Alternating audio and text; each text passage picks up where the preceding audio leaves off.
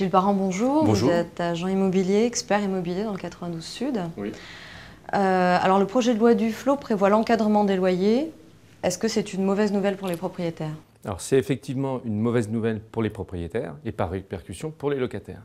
Pour une bonne et simple raison, c'est que lorsque nous avons une réglementation restrictive vis-à-vis des propriétaires, certains décident de retirer du parc locatif leur logement. De ce fait, ils le mettent à la vente et on se retrouve avec une offre beaucoup moins importante alors que la demande est toujours là et bien présente. De plus, certains propriétaires ont un changement vis-à-vis de leur location, c'est-à-dire qu'ils se mettent à faire de la location saisonnière qu'on retrouve sur Internet. Il faut savoir qu'il y en a à peu près 20 000 en- sur Paris, Île-de-France. Mais pourtant, on constate souvent de grosses différences de loyers sur un même secteur. Oui, bien sûr, mais c'est tout à fait normal. En tant que professionnel, nous dé- déterminons une valeur locative. En fait, sur une même rue, il peut y avoir par exemple deux studios, un à 600 euros et l'autre à 750 euros.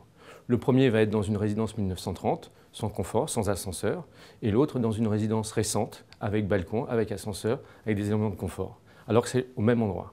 Ça, c'est la première des choses. La deuxième des choses, il faut savoir que euh, le, le prix au mètre carré varie. Notre ministre du Logement, Madame Duflot, nous dit que la valeur locative va augmenter en 10 ans de 40%. Mais elle oublie que sur Paris, par exemple, les prix ont augmenté de 300% en 10 ans. Ça veut dire quoi? Ça veut dire que le propriétaire aujourd'hui bailleur a une rentabilité nette de 3%. Alors vous pensez bien que l'encadrement des loyers, ce n'est pas une bonne nouvelle euh, pour ces propriétaires. Donc effectivement, il y a des valeurs locatives différentes en fonction des éléments et aussi en fonction des prix euh, au mètre carré, tout simplement. Hum, mais alors quelle serait la solution? La solution, elle est très simple. On la connaît. Euh, premièrement, le gouvernement n'a plus d'argent. Deuxièmement, les collectivités aussi. Troisièmement, l'épargne est très importante en France. Et en fait, il manque 500 000 logements par an, dont 70 000 sur Paris.